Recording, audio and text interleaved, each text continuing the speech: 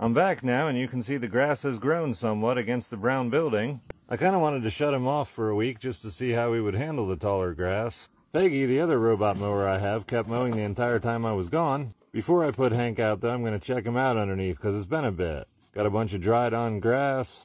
Most of it flakes off real easily. Everything seems to be okay under here, just a bunch of stuff wrapped around the wheels. He was still functioning, it's just probably not necessary to have all this. The blades really aren't that sharp either, however, they're sharp enough, I'm not going to change them yet. Throw the rest of this out in the yard. Hank should be good to go now. There's not going to be that much opportunity to watch Hank in the future as the days get shorter and the grass stops growing. I'm sure I'll run him a couple times in the winter just for fun of it, but I don't have spare electric in winter to go crazy. I'm pretty sure Hank the Tank is ready to get back to work. I just got to install his laser and his charger, which keeps the phone charged.